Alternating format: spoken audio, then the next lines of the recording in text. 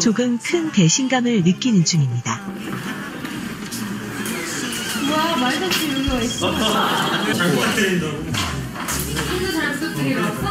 냉기가 싹 감쌉니다. 그 불안감이 사실이구나.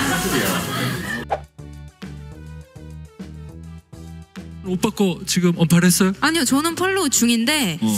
어, 저도 이제 언파를 하고 싶거든요, 사실. 저희도 그냥 뭔가, 그냥 암묵적인 의리로 서로를 팔로우하고 있었는데, 먼저 끊은 거잖아요. 끊어야겠다 했는데, 제가 말없이 또 이렇게 끊으면 기사님들이, 아, 진짜 싸웠나 진짜구나 보다. 이거. 할까봐 이 자리를 빌어서 예? 공식적으로 제가 오늘부터 방송이 나간 후로 팔로우를 저도 끊겠다 라고 본인은 하지 마라. 네, 싸우지 않았습니다. 각자 스타일들이 있잖아요. 그럼요. 운영하고 자기 공간이니까 아, 너무 오해하지 말아주시길 바라겠습니다.